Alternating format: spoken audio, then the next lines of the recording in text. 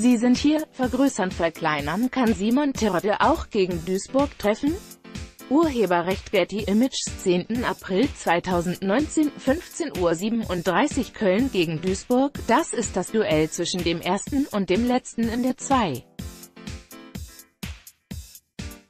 Bundesliga. Das Spiel ist wichtig, es geht um den Aufstieg und den Abstieg. Deutlicher könnte der Unterschied zwischen den Teams nicht sein. Wenn der MSV Duisburg auf den 1. FC Köln trifft 2. Bundesliga, MSV Duisburg 1. FC Köln, ab 18.30 Uhr im Live-Dicker, spielt der 18. in der Tabelle gegen den Spitzenreiter. Es ist das Nachholspiel des 26. Spieltags.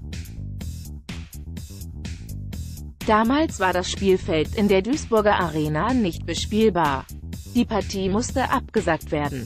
Köln mit Siegeserie Köln hat sechs Spiele in Folge gewonnen. Das Team könnte mit einem Sieg die Grenze von 60 Punkten knacken und wäre damit dem Aufstieg einen Schritt näher gekommen. Der Vorsprung auf Union Berlin, derzeit auf dem Relegationsplatz beträgt 12 Punkte. Der MSV liegt derzeit 5 Punkte hinter dem 15. der Tabelle. Drei Punkte könnten die Zebras ein Stück näher ans rettende Ufer bringen. Doch die Statistik spricht gegen das Team.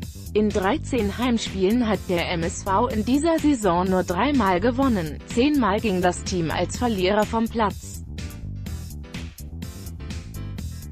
Das ist die schlechteste Heimbilanz in der 2.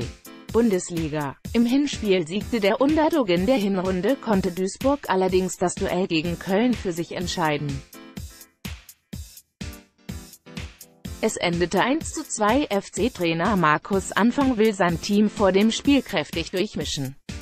Die englische Woche verlangt den Spielern viel ab, jede Form der Regeneration ist gut für sie. Ob Simon Terodde zum Einsatz kommt, ist also fraglich. Er konnte in diesem Jahr schon 27 Mal treffen.